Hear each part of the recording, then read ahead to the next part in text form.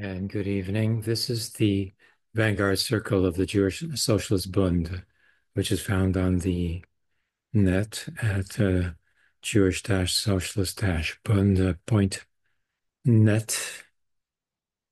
And uh, there's two pages that are made there. Second one being the JPLO uh, document of 1988, which uh, remade the Jewish Bund, and in fact. And uh, we're going to continue with the reading of the uh, very important study by Lars Fischer that is uh, published by Cambridge University Press, and which is entitled "The Socialists' Response to Anti-Semitism in the German Imperial State." That is during the time of the Second International, which is, of course, the same politic uh, on the Jewish question, so-called, that was carried over into the Third International and still persists today. So let's go share and um, and do the reading. Oh, by the way, I'm Dr. Abraham Weizfeld, and uh, I do um, have a certain uh, credibility by virtue of my studies at the University of Quebec Montreal as a doctor, even though I haven't been allowed to have a position in teaching world since um, I worked at the Palestine Embassy in Ottawa during the Zionist invasion of Lebanon in 1982 to 1985, at which time I wrote the um, documentary study on the massacre of Sabra Shatila and the refugee camps there. Okay, let's go and drop in on the socialist response to anti Semitism. Here we are.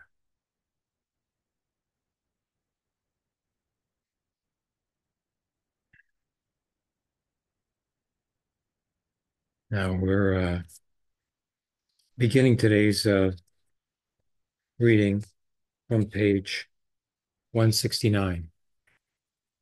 And I believe we're at the heading, Yet Another Great Misunderstanding. the Congress, you know, the Second International, Marxist International Congress, not only repeatedly touched on anti Semitism and the Jewish question in general terms. In one instance, Mehring's personal idiosyncrasies in the field were even raised directly. Yet, just like the three examples we have just viewed, this again stood in no connection to Hans Luce and his stance vis a vis the Jews. Had this really been a concern of Mehring's silence, we would in any case be confronted with an altogether inexplicable omission. They had systematically combed through the past, his past, to find examples for his alleged duplicity and hypocrisy. One of the publications in which Mehrings himself discussed his checkered past at length was a pamphlet we have already come across. Capital and Presse, as we saw, Capital and the news media. as we saw in the first chapter, it was in Capital and Presse that he himself related the fact that he had been accused in 1891 of writing anti and philo-Semitic articles for different papers at the same time. Responding to these allegations, he had pointed out that he was responsible for at least two Jewish boycott calls against papers for which he worked. Hmm. How could we possibly explain the failure of Mehring's silence to utilize this material against him if we were to assume that their misgivings about his dealings with Luce hinged in any way on Mehring's and or Luce's stance vis-a-vis the Jews. Rather tellingly, we find the one perfectly direct reference to Mehring's own take on these matters, not in the context of the serious deliberations, but in a satirical paper that was issued on the occasion of the Congress and probably edited by Edward Fuch, 1870 to 1940. As far as I can tell, Fuch, Fuch, Fuch, who was a long-standing friend of Mehring's and later became his executor, was already on friendly terms with Mehring at the time. Inter alia, this satirical paper just juxtaposed three spoof programmatic statements designed to caricature the different camps in the party. They sought to mimic, firstly, the radicals, and specifically Mehring's. Secondly, Bernstein. Mehring is a radical. Okay. Secondly, Bernstein, introduced as EB in the Messianic Age. What's that about? What, Bernstein thought he was a Messiah?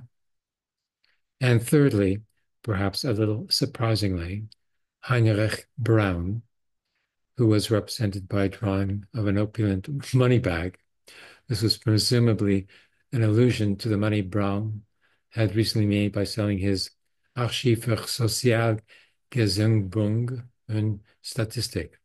The text caricaturing, caricaturing Mehring contained a rant about the press publications of Lob Sonnemann and Isidor Harden.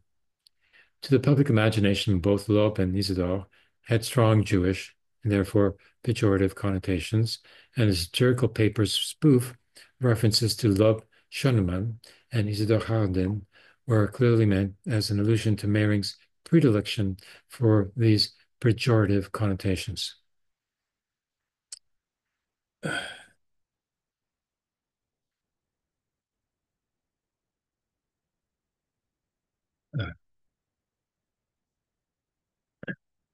Okay.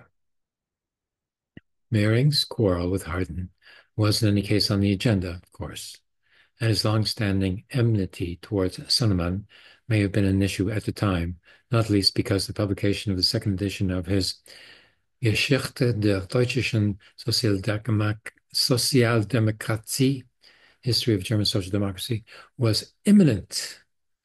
In this second edition, Mehring had finally let himself be persuaded to remove the references to Lob Sonnemann, still included in the first edition.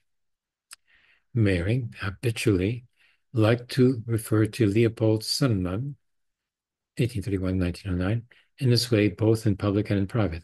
He regularly called Sonnemann's Frankfurter Zeitung the undisputed flagship of liberal journalism in Germany during the second half of the 19th century and beyond, the paper of the Frankfurt Stock Exchange Democracy, Frankfurter Börsendemokratie.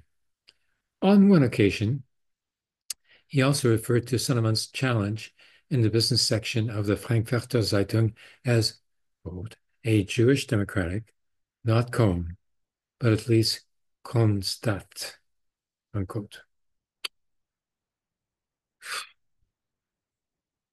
Okay. This did not go unnoticed, and it would seem that for once Mehring really was taken to task by at least some of his peers for his anti-Jewish jibes. Most likely, they consider this a matter of good taste rather than of genuine political substance. Whatever their motives, though, it is surely telling that it was this form they chose to take up the issue. It was the one form that, to put it bluntly, matched the seriousness of the issue. A satirical paper produced for the Congress in Dresden, a paper we might remind ourselves that, to the best of our knowledge, was produced by one of Mehring's closest and longest standing personal friends, not by his opponents. Least, lest anyone be tempted to read any more into this, we should add that this satirical paper contained many more relevant references. Among its ostensible contributors was one Professor Talmud de Edda. Edda was Bernstein's nickname. Both Bernstein and Luxemburg were depicted throughout with monstrous crooked noses. The satirical paper also offers spoof report by an auditor of the Sozialistische Monatshefte. In it, the auditor vouched for the fact that the journal had acquired four new subscribers, 63 new contributors, one paid advert, and 127 new opinions over the last three years. and that it also pulled teeth and split hairs. The auditor's name was again, as ambiguously Jewish one, Isidore Mochtelus. Mm-hmm.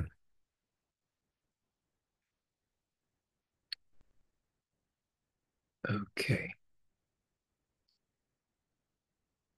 So let's take a break now, and with the sunset, oh, with the sunset, we can now light the Shabbos candles. Shabbos is Friday evening for those who are assimilated. And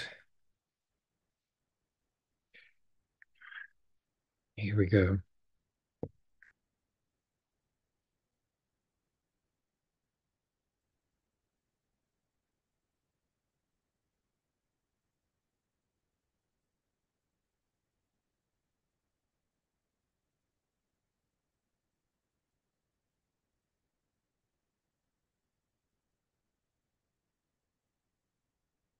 Baruch atah Adonai, Eloheinu melech haolam, asher kitzanu b'mitzvotav b'tzivanu ner Shabbos.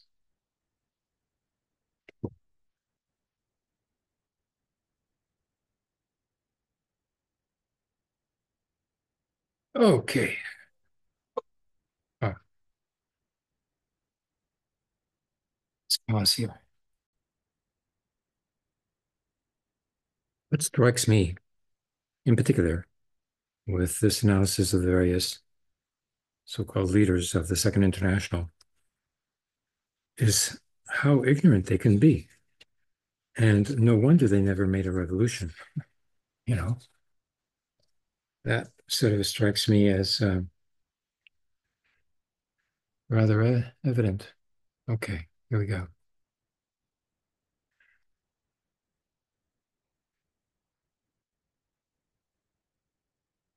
Among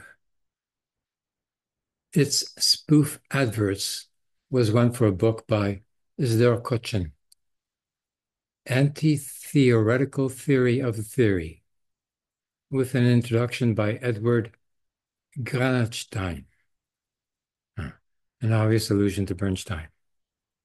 It is hard to conceive of a more blatantly Jewish name than Isidore Kotchen, Kotchen being the diminutive of Cohen, Conchen. Ah. This line of association then is this. Such obvious mumbo jumbo as the anti-theoretical theory of the theory would obviously be the product of a Jewish mind and just the sort of thing for which Bernstein, supposedly Granstein, would write an introduction. Another spoof advert praised a product called Bernstein Cobol, carbolic soap. No other product disinfects socialism so thoroughly, making it no longer in the least bit contagious. This product was distributed exclusively by the Apothek zur Hegelian Meshbuch, i.e., a pharmacy used using the Yiddish term for family in its name. Oh. the Holy Family. Was this perhaps an allusion to Marx and Engels, the Hegelic family? If so, the implication would be that it too was ultimately mumbo jumbo of a stereotypical Jewish bent. That's what they call uh, Talmudic. To be Talmudic is supposed to be an insult for some reason. I guess for people who haven't done any academic work. Okay. Without putting too fine a point on it, this would be rather telling in the light of our earlier discussion. As we saw, the passages in the Heilige Family that revisited the Jewish question are particularly helpful in establishing Marx's genuine intentions in Der Judenfrage. Mehring's Nachlasschaglab had brought the virtually unknown Die Heilige family back into circulation pretty exactly a year prior to the Congress in Dresden. Assuming the remark really was an allusion to it, it would give us some indication of the impression the Helliger family now managed to make when and if it was registered at all.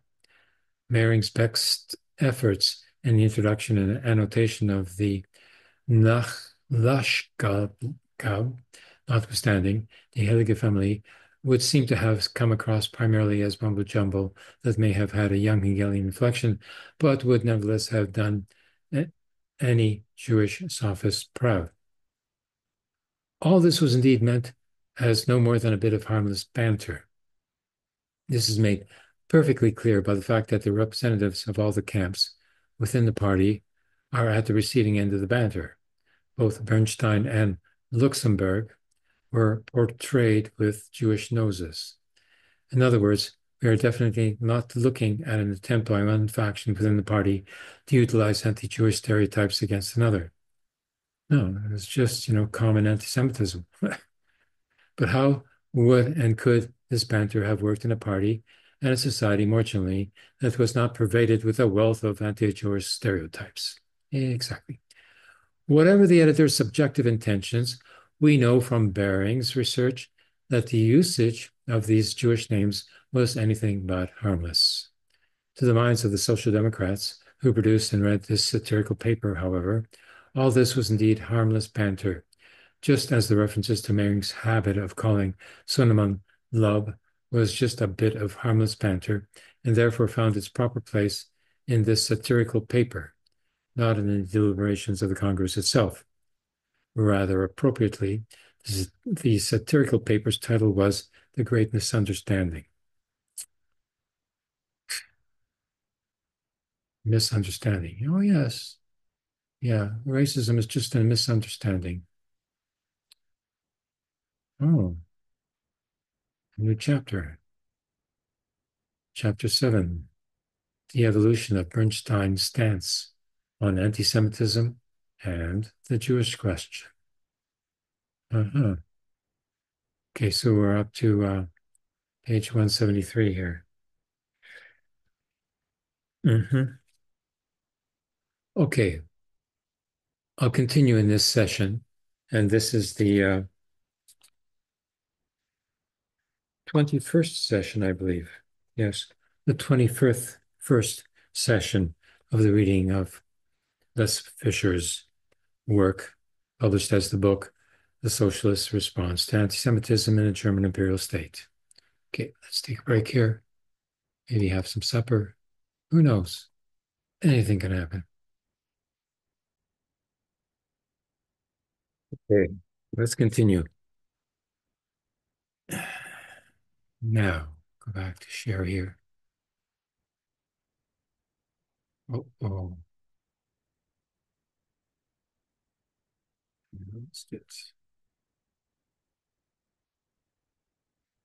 No, it's here. Yes. Okay. Sounds interesting. The evolution of Bernstein's stance on anti Semitism and the Jewish question. As I indicated before, in terms of their sensitivity for the implications of anti Semitism and the Jewish question, much of the literature has tended to place Mehrings and Bernstein at opposite ends of the spectrum. Mehring's attitudes have generally been portrayed as particularly ambivalent and problematic, while Bernstein's stance has been credited with an acuity and prescience fairly singular among his peers. I made it clear at the outset that I consider that this a rather questionable juxtaposition. I have argued throughout that Mehring's take on these matters, the occasional idiosyncrasy notwithstanding, was entirely in keeping with attitudes prevalent amongst leading Imperial German Social Democrats. In this final chapter, I want to take another more systematic look at Bernstein's position to demonstrate that not only Mehring's approach, but Bernstein's too, was rather closer to the mainstream of relevant perceptions among their peers than most of the literature would have us believe. The conventional juxtaposition of Mehring and Bernstein is underpinned by a larger conceptual and ideological issue Mehrings stood on the radical wing of the party and died a founding member of the German Communist Party, KPD. Bernstein was the conceptual father of revisionism and died a respected doyen of mainstream social democracy as it had emerged from the split of organized socialist labor during and after the First World War. Neither the KPD nor the SPD of Bernstein managed to muster anything even approximating an adequate response to the renewed rise of political anti-Semitism in the Weimar years. Weimar years. Yet the KPD undoubtedly made an even greater dog's breakfast of its response to this development than did the STP, SPD. Some within the SPD clearly displayed a greater measure of flexibility and seriousness in their attempts to grapple with the rise of anti Semitism than anybody in the KPD ever did. Among the communists, the ambivalent and starkly reductionist perceptions prevalent among Imperial German Social Democrats remained entirely unchallenged. The implication would seem to be that democratic socialism, so called, allowed for an evolution of these perceptions, while the totalitarian character of the communism precluded this possibility. Hmm. All this became fully evident only in the interwar year periods, but it was prefigured, so the argument goes, by conflicts within pre war social democracy and the contrast between Mehring and Bernstein then emerges as a paradigmatic case in point. It is perhaps little wonder that this notion owes its firm place in the scholarly literature to Paul Massing, who was, after all, a disenchanted former communist writing against the backdrop of the emerging Cold War. mm-hmm.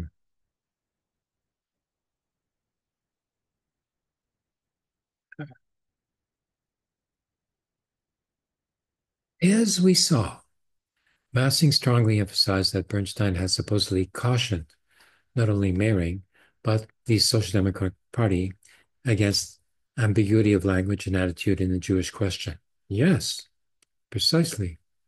It's the ambiguity that is the problem.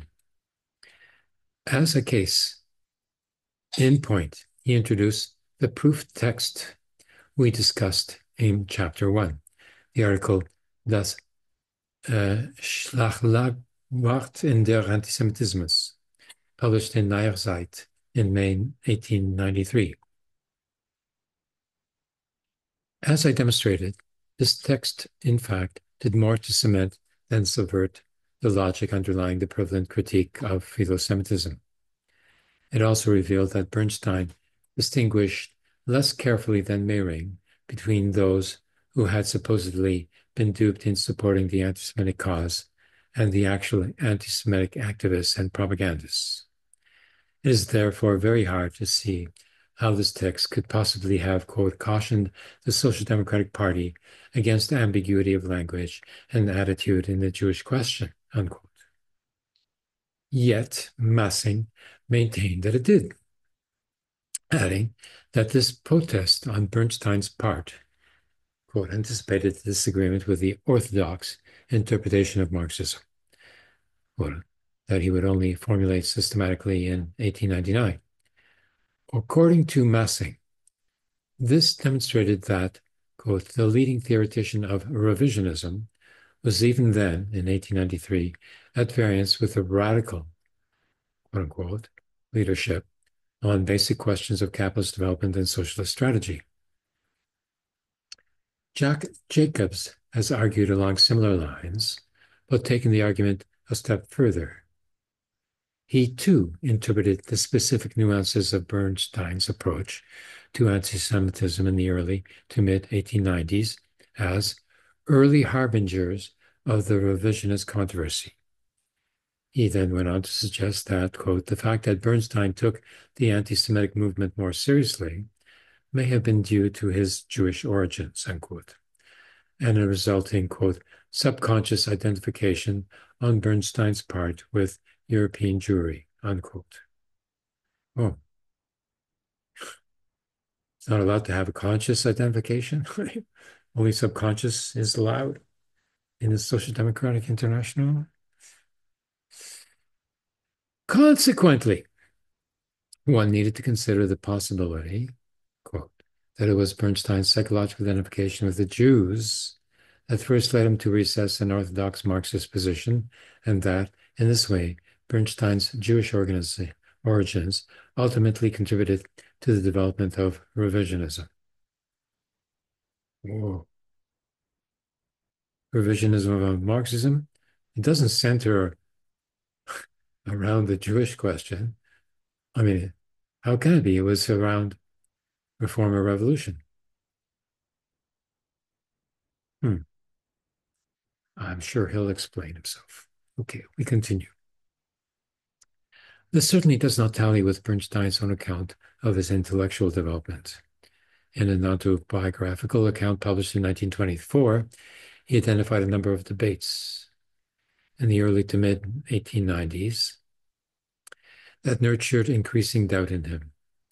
He expressly mentioned three substantial review articles published in the Zeit between February 1891 and March 1893, in which he had shown that the criticisms the authors under review leveled at Marx were wrong in certain respects.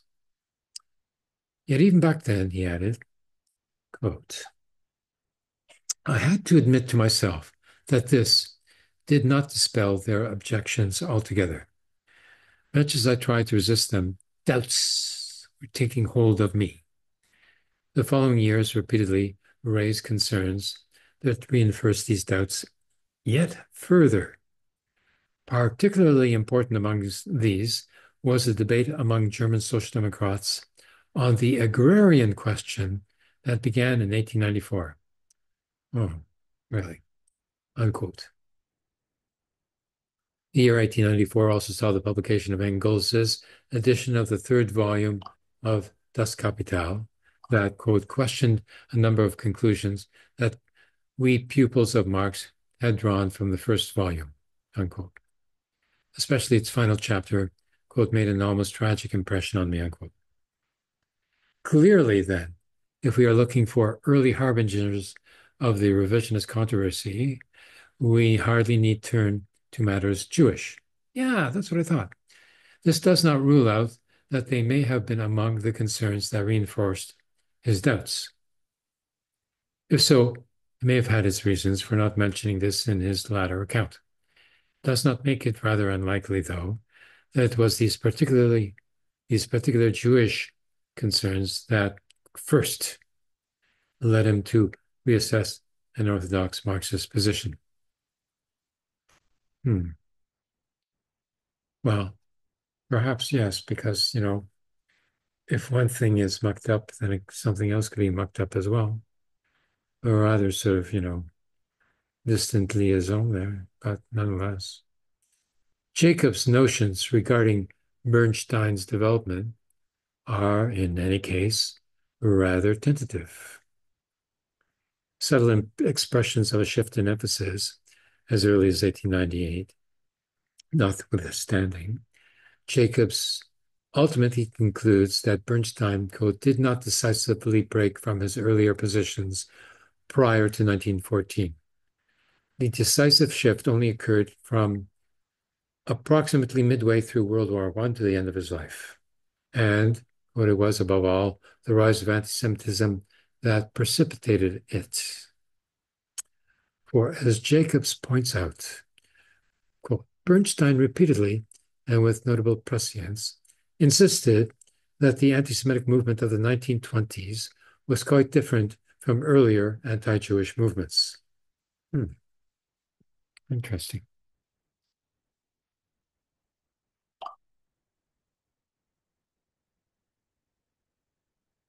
Bernstein's recognition that the political anti Semitism of the post war period posed a threat of an entirely different intensity and order of magnitude was indeed prescient. Well, let's take a break here.